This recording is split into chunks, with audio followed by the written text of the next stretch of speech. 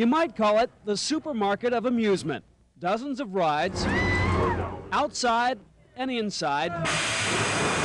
More than 400,000 square feet of the Dallas Convention Center. Just walking through it would probably take you, uh, if you just kept walking, it would probably take you a good uh, hour to an hour and a half. Hey, George is the name. Walking through here isn't easy. You'll find lights, lifelike robots, This semi-corporation creates the best make-believe ever.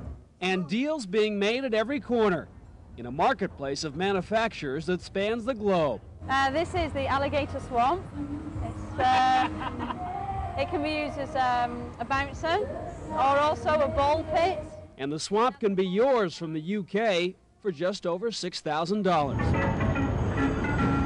This is one of the many rides made by an Italian amusement company.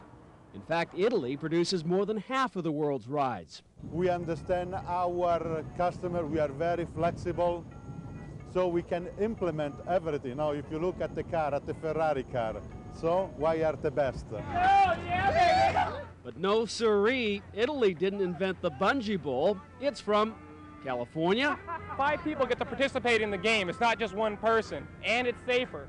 No doubt about it, amusement is a multi billion dollar industry with profits that just keep rising and profits that come around to the parks that have these rides. High tech continues to be in big demand. John Glenn might enjoy this, although he might need NASA for the $600,000 price tag. It's all big business, in the business of having fun. In Dallas, Jim Walker, 11 News.